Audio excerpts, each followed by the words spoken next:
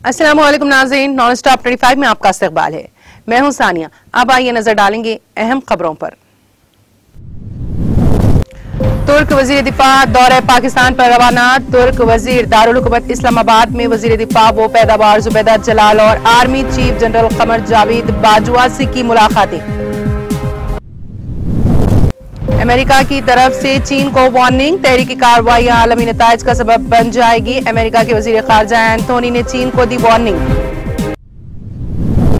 चीन के शहर बेहाई के खुले समंदर में तीस मुसाफिरों पर मुश्तमिल कश्ती उलटने के नतीजे में आठ अफराद हलाक और पाँच जख्मी हो गए।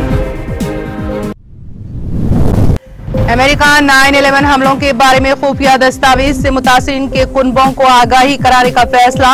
अमरीकी हुकूमत पर सऊदी हुकूमत के हमलों में किरदार से मुतालिक बाज मालूम को खुफिया रखने पर नुकताचीनी की जा रही है। ईरानी ऐवान सदर के नायब अव्वल अमरीकी पाबंदियों की फहरिस्त में शामिल हैं। नौ मंतखब ईरानी सदर इब्राहिम रईसी की जानब से आला और इदारों पर फायज की गई शख्सियात में शामिल हैं। कैलिफ़ोर्निया अपनी तारीख की बड़ी तरीन जंगलात की आग के खिलाफ नबर्द आजमा। कैलिफ़ोर्निया के शुमाली मगरबी इलाके में गुजश्ता माह लगने वाली आग से एक लाख अठानवे हज़ार एकड़ का जंगलाती रकबा मुतासर। तुर्की में अंदरून मुल्क इंसदाद दहशत गर्दी कार्रवाई के सिलसिले में जारी एरियन। तेरह ऑपरेशनों में तीन दहशत गर्दों को गैर फाल बनाया जा चुका है।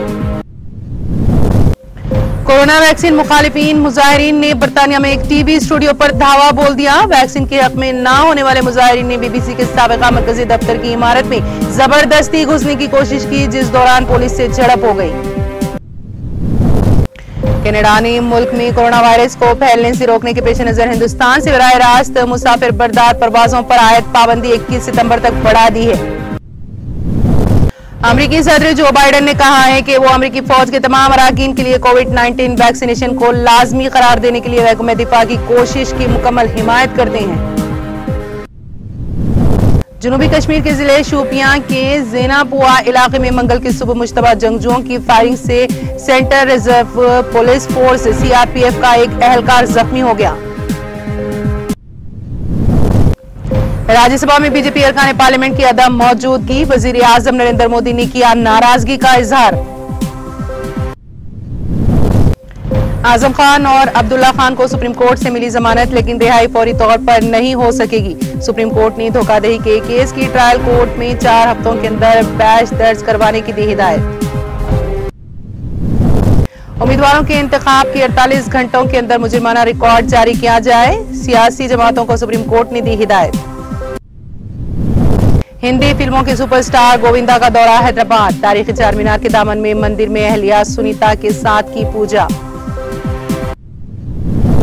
कांग्रेस के सीनियर रहनुमा और रुकने पार्लियामान राहुल गांधी ने कहा कि आज सिर्फ़ जम्मू कश्मीर नहीं, बल्कि पूरा भारत हमलों की जद में है। उन्होंने कहा कि फ़र्क सिर्फ़ इतना है कि जम्मू कश्मीर पर रास्ते हमले हो रहे हैं, जबकि मुल्क के बाकी हिस्सों पर बिलवास्ता हमले जारी हैं।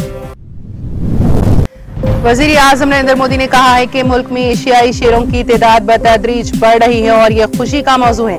वज़ीर आज़म ने आलमी योम शेर के मौके पर ट्विटर पर अपने पैगाम में शेरों के तहफात सिमत में जोश खरोश के साथ काम करने वाले लोगों को मुबारकबाद भी दी है।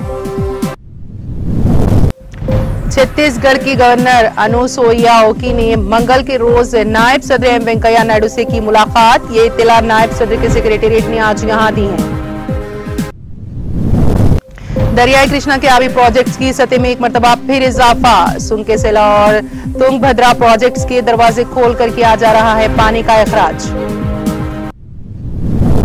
तेलंगाना हुकूमत फ़िल्म इंडस्ट्री की तरक्की के लिए हर मुमकिन मदद फराहम कर रही है। फ़िल्म इंडस्ट्री के मसाइल पर मुनदा जायजा इजलास से रियाती वज़ीर श्रीनिवास यादव का बयान।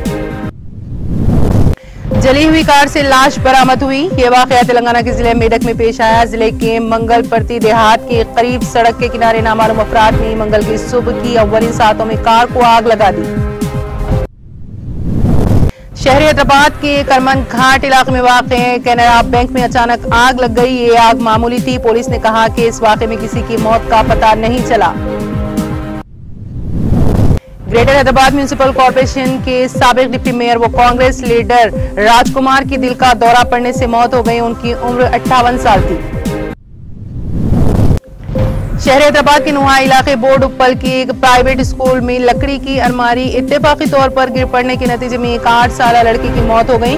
इस लड़की की शिनाख्त कीर्ति के तौर पर की गई है, जो अपनी बहन और माँ के साथ रहती थी। आंध्र प्रदेश के ज़िले अनंतपुर में पेश आए सड़क हादसे में एक खातून जख्मी हो गई। ये हादसा ज़िले के क्लॉक टावर के करीब उस वक्त पेश आया, जब स्कूटी को आरटीसी बस ने टक्कर दे दी। इसी के साथ नॉन स्टॉप यहीं पर खत्म होती हैं। अब इजाज़त दीजिए, खुदा हाफिज।